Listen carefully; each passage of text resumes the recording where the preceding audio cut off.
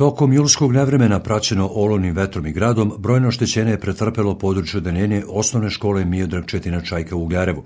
Krovna konstrukcija bila je potpuno uništena i škola je bila van funkcije tokom leta.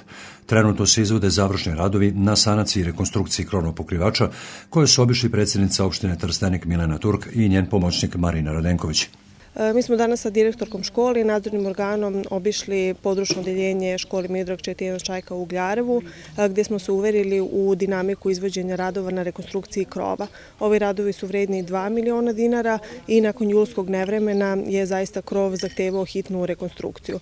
E, tako da smo zaista zadovoljni izvođačem i načinom na koji se izvode radovi na zameni greda i krova, budući da od izgradnje ovog područnog odeljenja nije bilo značajnijeg investiranja i da je zaista bilo zrelo za rekonstrukciju i ulaganje. Smatrali smo da je izuzetno opravdano da e, ove radove budu izvedeni u što kraćem roku. E, osim ovih radova, mi ćemo u područnom odeljenju nabaviti dodatne sprave e, kako bi se deca u okviru zone škole igrala, bavila sportom i imali prosto što uređenije i konfornije uslove za zdravo odrastanje. Za ovu školu su nabavljeni i reflektori koji će se takođe postaviti kao i u Lozni, a ono što nas takođe očekuje kada je u pitanju Ugljarevo je otvaranje nabavke za rekonstrukciju zgrade mesne zajednice, što je takođe bio zahtev meštana, tako da će se i ovaj objekat koji je bio dotrajao, a značajno urušen tokom julskog nevremena, rekonstruisati i staviti u funkciju kako bi bio na usluzi meštanima za sva okupljanja koje oni tu žele da organizuju.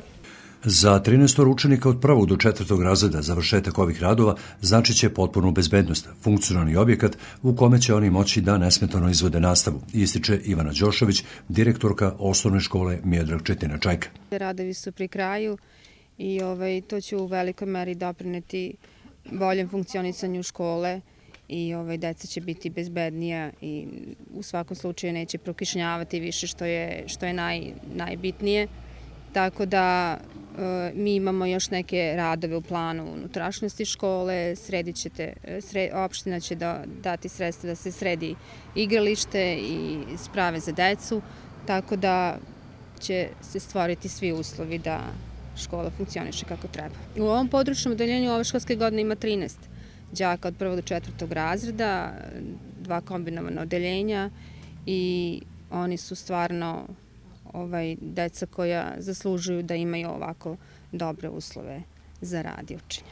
Kako je ovom prilikom istakla predsednica opštine Milena Turk, lokalna samouprava nastavlja sa uređenjem školskih zgrada i u drugim selima kako bi svi učenici, kako u gradu, tako i na selskom području, imali podjednako dobre uslove za dalje školovanje.